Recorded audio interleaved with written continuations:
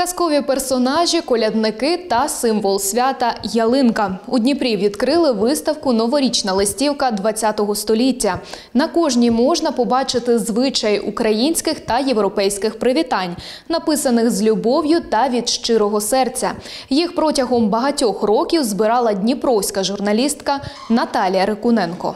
Це не почалося як збирання саме колекції. Це почалося як е, пошук матеріалу для ілюстративного матеріалу для моїх і статей, і телевізійних програм про історію міста, і взагалі про історію, про історію свят. Ну це триває з кінця 90-х років, напевно, ось так.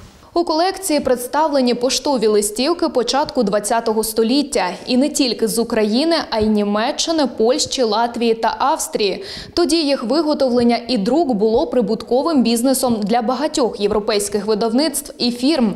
А вже з кінця 1980-х років у нашій країні з'являються перші україномовні різдвяні листівки. Є дуже цікаві підписи. Наприклад, перша листівка, е, перша за датою, яка тут представлена 1907 року. Це листівка підписана е, простою дівчинкою з села Лісне Бердянського повіту Катеринославської губернії, яка бажає добробуту в новому році е, своїй родичці. Ще тоді листівки вважалися вишуканим подарунком. Нині ж такі вітання залишаються лише в спогадах, кажуть відвідувачі.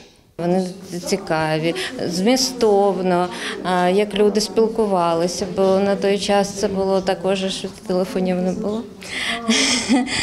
От, і люди намагалися в цих лист- листівочках дуже в краткому об'ємі виразити свою любов, свою увагу, своє почуття Виставку Новорічна листівка ХХ століття можна відвідати у будинку музею імені Дмитра Яворницького. Вона працюватиме з 22 грудня по 28 січня 2024 року.